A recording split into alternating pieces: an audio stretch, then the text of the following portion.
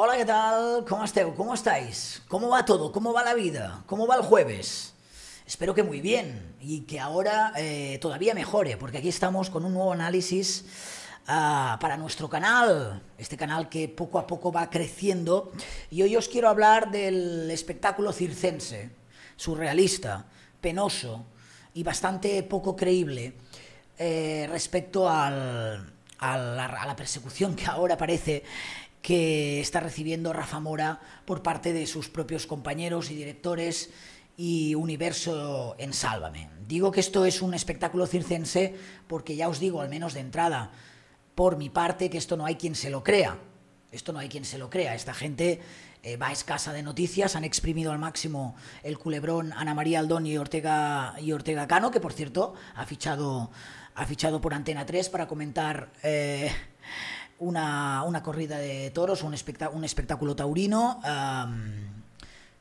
De momento es eso, que no salten las alarmas, pero que como ya han tirado tanto de la manta de temas como el de Anabel Pantoja, el Felices los Cuatro, que si Julen el Negro, a la espera de que estrenen el nuevo reality, y exprimiendo todo el culebrón del verano de Ortega Cano y Ana María Aldón, entiendo que les ha entrado el pánico y han dicho, ¿y ahora qué hacemos? Nos queda aquí una semanita o dos colgaditas antes de que empiece el movimiento televisivo, nos tenemos que inventar algo.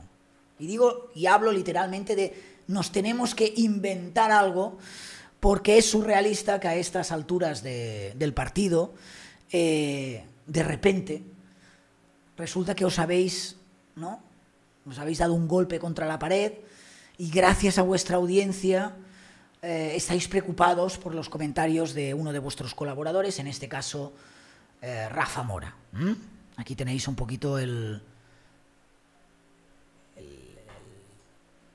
la, la, la, la, página web oficial de Sálvame.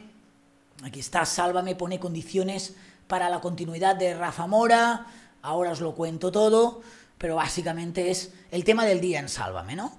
Este señor ahora resulta que está cuestionado después de más de 10 años, creo, no sé cuántos años, siendo colaborador del programa, donde ha tenido épocas realmente mucho más oscuras y mucho más contundentes, y ahora, sálvame, gracias a, a los valores de la gente que, que les sigue en redes sociales y algunos comentarios eh, despectivos de Rafa Mora contra Miguel Frigenti en este caso, se han dado cuenta de que este señor es un pirómano, es un incendiario y que no hay ninguna necesidad de que señores como este estén eh, ahora mismo como colaboradores en el, en el programa. Y han montado todo un tinglado, uh, toda una polémica, un juicio paralelo, eh, un juicio también en plató, de eso ya sabéis que, que, saben, que saben bastante, porque tienen una experiencia en su currículum vitae muy reciente de montar juicios paralelos en plató, sino que se lo pregunten a Antonio David. Uh, entonces han montado pues un, eso, un, un, un vodevil uh, cutre, para hacernos creer que realmente están preocupados por las opiniones de, de, este, de este señor, que es el, el musculitos Rafa Mora. Bien, suscribiros, suscribiros, eso es importante, ¿eh? si no estáis suscritos y campanilla, campanilla para los avisos. Bien, uh... bien, varias consideraciones, varias consideraciones. Antes de llegar al pajarito, que es Rafa Mora, que no deja de ser un pajarito, dejadme que con el rifle apunte hacia arriba, que es lo que a mí me gusta. Porque al final, como en todo, desgraciadamente, hay categorías y responsabilidades. Y Rafa Mora, a pesar de que vamos a entrar también, no deja de ser uno de los últimos eh, eslabones perdidos, ¿vale? Vamos a ir subiendo de arriba a abajo para que, eh, eh, bueno, para analizar este espacio que ahora resulta que tiene remordimiento de conciencias sobre las actitudes de determinados colaboradores, resulta que es Rafa Mora. Preguntarle a la gente qué piensa también de otros colaboradores y a lo mejor os quedáis sin programa, si los tenéis que echar a todos. Pero en fin, ahora nos atrevemos con Rafa Mora, que es uno de los más fáciles, ¿vale? Pero vayamos, vayamos subiendo, vamos arriba de todo. Este programa, evidentemente, forma parte de una productora que, como sabéis, es la fábrica de la tele, cuyos responsables, estos que ahora entiendo que están tan preocupados por la actitud de uno de sus colaboradores de un programa de, de la fábrica de la tele, Adrián Madrid y Óscar Cornejo, han sido eh, noticia en los últimos meses por la de veces que la fábrica de la tele ha tenido que pasar o ha sido citada en determinados juzgados sobre diferentes, diferentes asuntos. Hay uno de ellos que tiene que ver con la llamada Operación Deluxe, y ahí hay que ponerlo todo con el supuestamente, pero vaya, vaya por delante el supuestamente, se está investigando una serie de acciones muy graves, muy graves, unos delitos para conseguir información de compra y venta de información, de obtención ilícita de información por parte de algunos periodistas, ah, de fuentes policiales, cuyas operaciones supuestamente, supuestamente eran conocidos, eran conocidas en este caso por evidentemente los responsables de la productora, tal y como figura en algunas de las pruebas que se están recalando.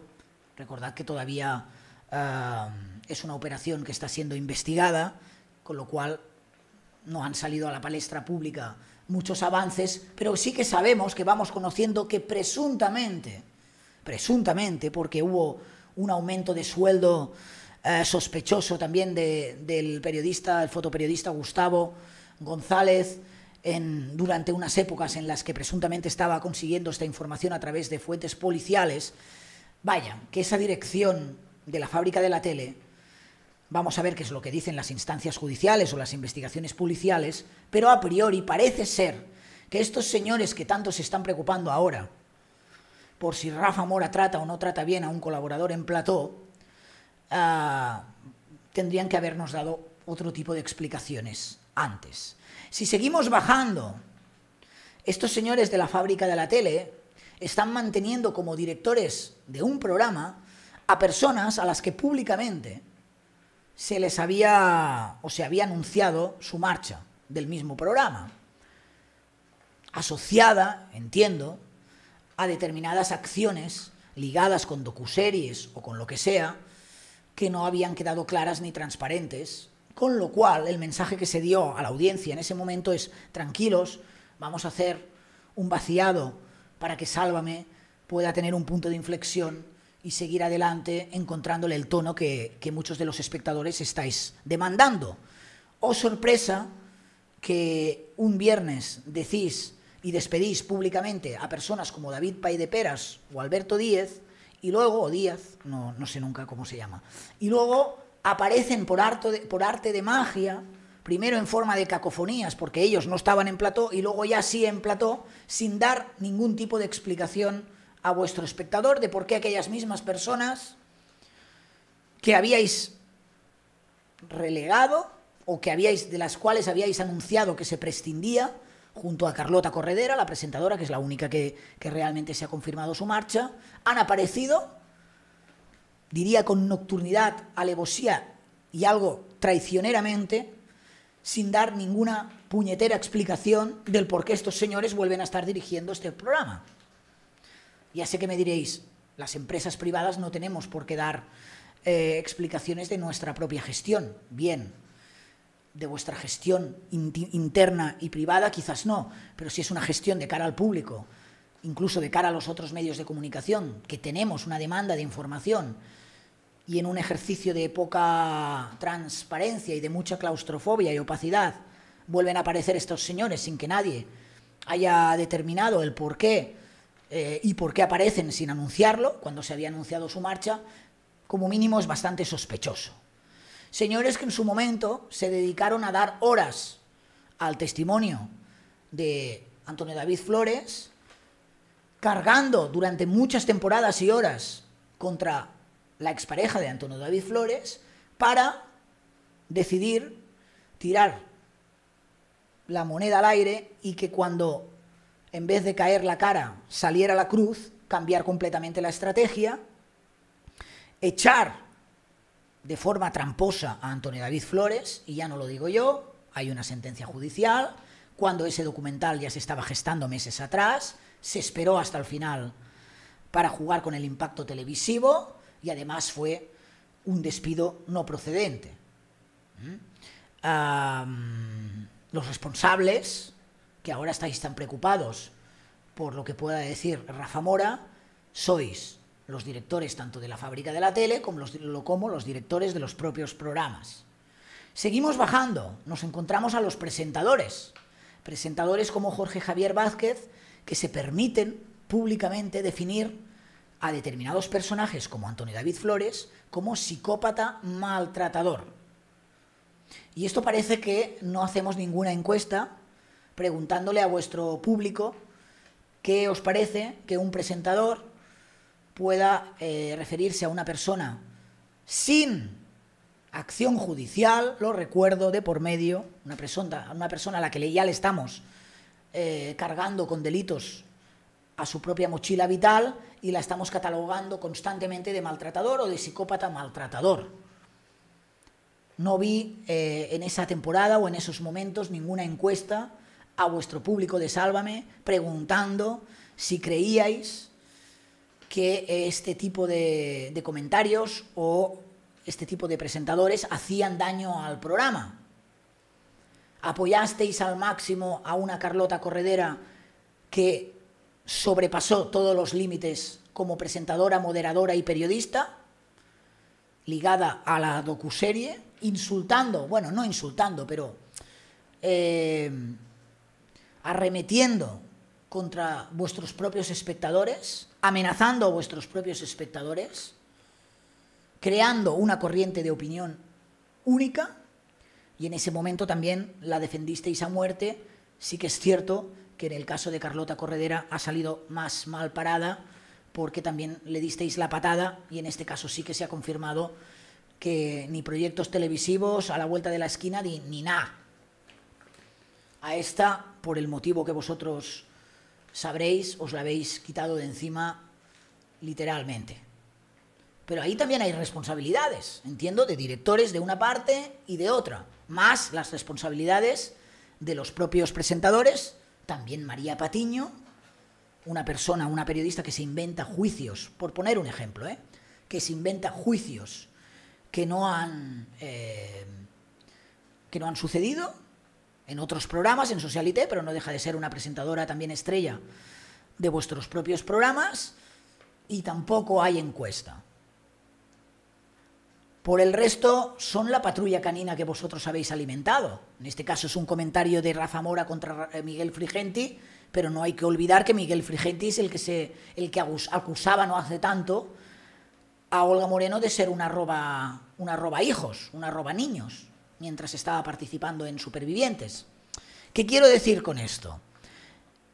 Es el peligro de crear monstruos desde el, laboratorio de la monstruosidad.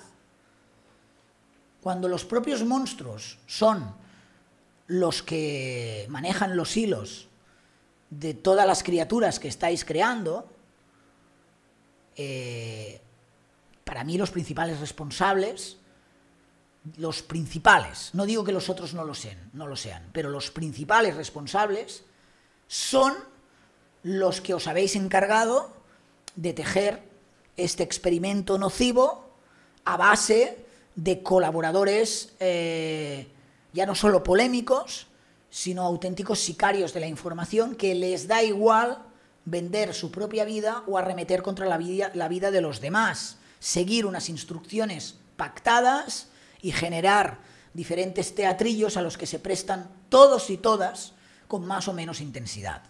Es decir, al final Rafa Mora simplemente es uno más de los muchos pirómanos y pirómanas que tenéis como colaboradores, la mayoría de ellos, coinciden que la mayoría de ellos no son periodistas, pero también hay periodistas pirómanos y algunos de ellos bajo sospecha eh, de prácticas corruptas, supuestas prácticas corruptas, como ya he, anunciado antes.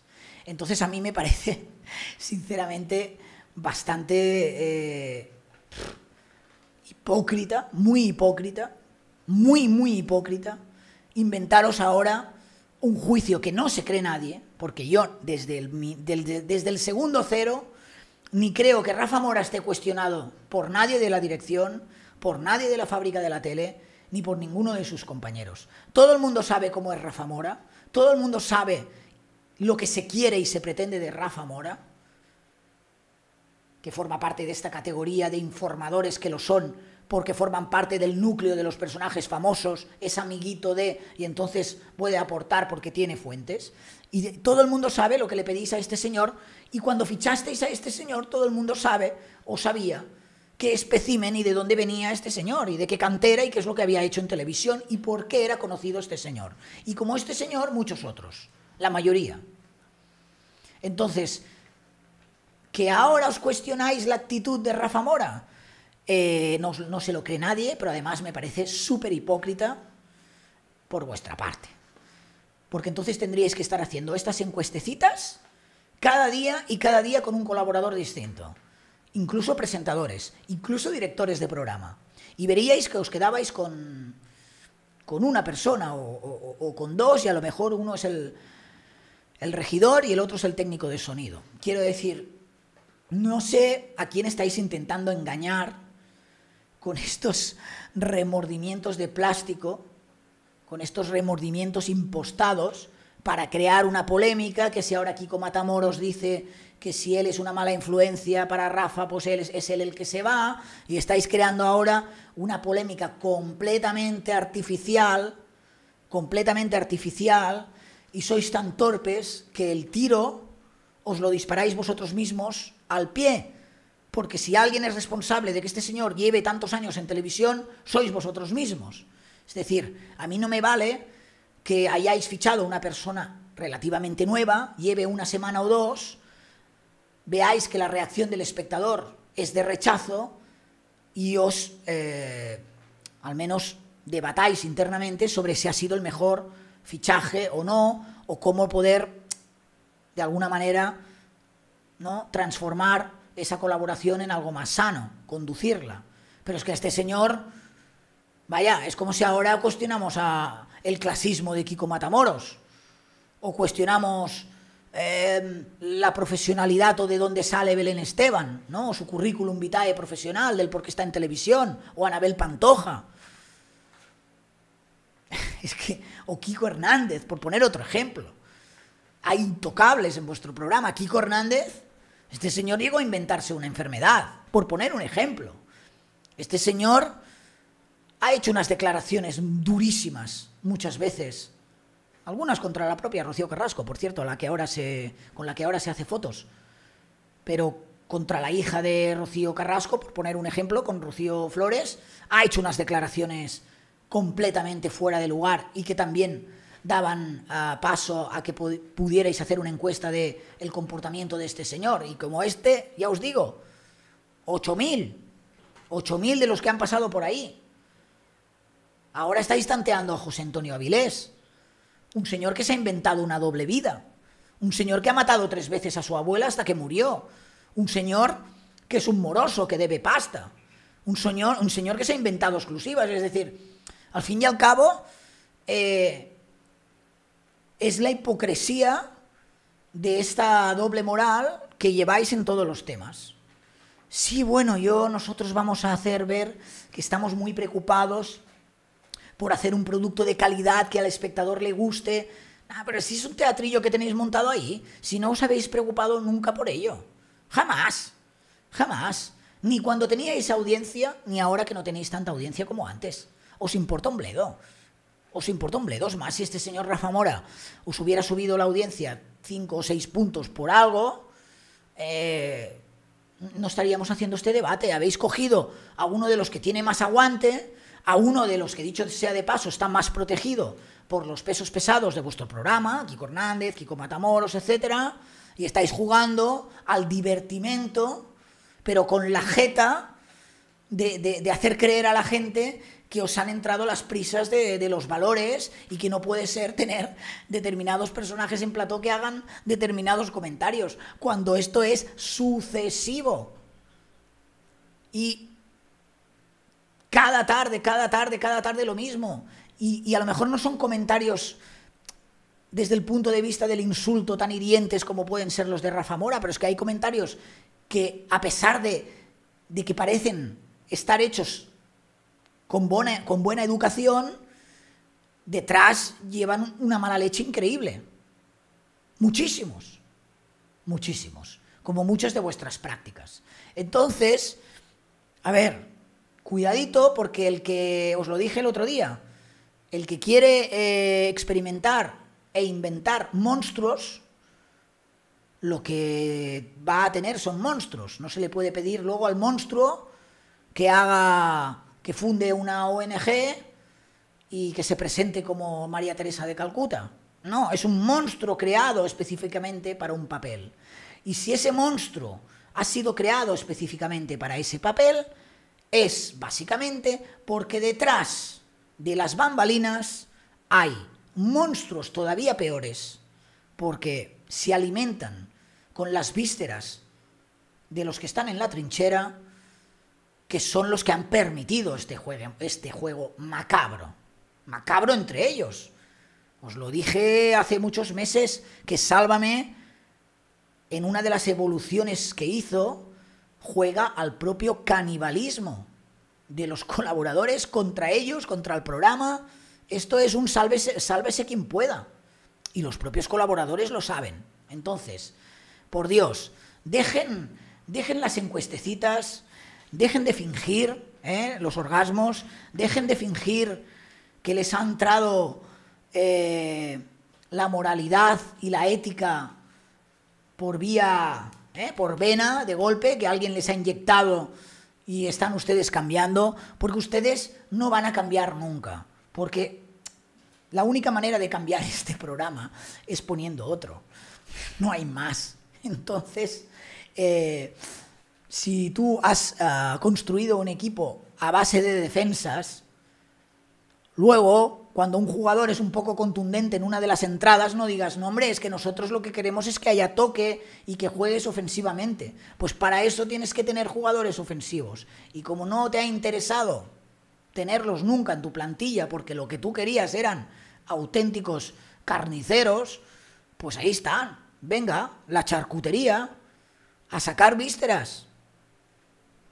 Y ahora no les digáis, pobres, que, lo hacen mal cuando lleváis 10 años alentándoles y preparándoles para ello. Y fijaros, eh, yo os lo digo, que Rafa Mora no es santo de mi devoción, que lo que yo puedo pensar de Rafa Mora, creo que los que me conocéis y lo que he ido comentando en, los vídeos, es fácil de, de acertar, ¿no? de adivinar pero no me gustaría que la gente se quedara ahora con Rafa Mora. No, no, no. No, no, Rafa Mora es el, enanito que ahora mismo hace falta en el jardín ¿eh? para decorar un poquito más la historia que estamos construyendo. La jeta, la jeta la tenéis, la tenéis vosotros, que sois los que habéis dado pie no solo a la conducta de Rafa Mora, sino a que a que se presenten en el plató vecinas traicioneras y digan lo que les dé la gana, a que se suban en el pulpillo cualquier personaje y pueda decir también lo que le dé la gana, aunque segundos después les estén desmintiendo, y así pasa la vida, pasa el verano y pasan las entregas de Sálvame. Ya está. Pero hipocresía la justa, chicos. Por Dios, si ahora va a resultar que, que vais a ser los más moralistas y más papistas que el Papa. Va, 664 63 desde luego, 7413. 66463 7413. Es que me. No sé, de verdad que es para reír o para llorar. Y como ya os he dicho que, prefiero pasármelo bien, ya me lo tomo a guasa. Pero es para llorar, ¿eh?